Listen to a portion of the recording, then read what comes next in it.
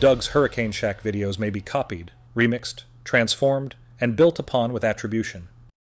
The Atlantic hurricane season, which officially begins on June 1st and ends on November 30th, is a period that often brings a mix of anticipation and apprehension for those living in coastal regions. This year, the preseason forecast from various organizations paint a, a worrisome picture, suggesting that the upcoming hurricane season could be more active than the active ones we've had already. The 30 year average of Atlantic hurricane activity is approximately 14 named storms. However, several institutions have released their predictions and the numbers are significantly higher than average.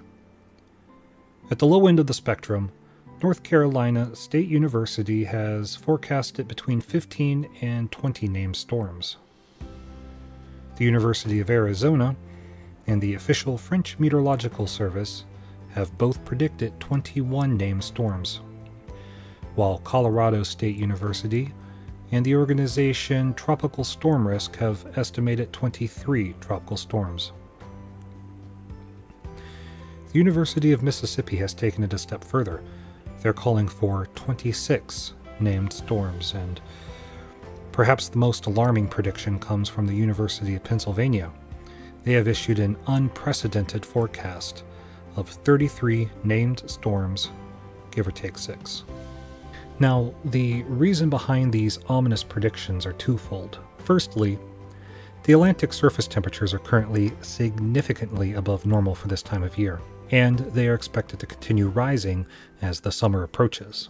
Warmer ocean temperatures provide more energy for tropical systems to form and intensify, increasing the likelihood of hurricane development. Secondly, it is anticipated that moderate La Nina conditions will persist in the Pacific during the peak of the hurricane season. La Nina is characterized by cooler than average sea surface temperatures in the equatorial Pacific, which can influence global weather patterns. In the Atlantic, La Nina conditions typically lead to reduced wind shear, allowing tropical storms to develop and strengthen more easily. The combination of these two factors, warmer Atlantic waters and the presence of La Nina creates a most favorable environment for hurricane formation and intensification. This has led to the concerning forecast from various institutions, suggesting that the upcoming hurricane season could be one of the most active in recent years.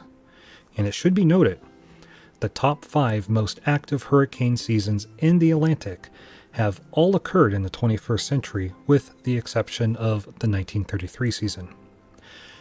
Remarkably, three of these top five seasons have all taken place since 2020, highlighting the increasing frequency of above average hurricane activity in recent years.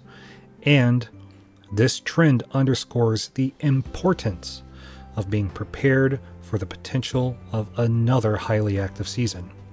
Now I've got my scripts ready for the hurricane season.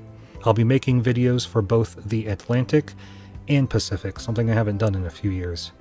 I've also got my website back up and running, though it is very much a work in progress. The season begins on June 1st, but the NHC will begin issuing tropical weather outlooks next week, May 15th. I'll see you then. Doug's Hurricane Shack videos may be copied, remixed, transformed, and built upon with attribution.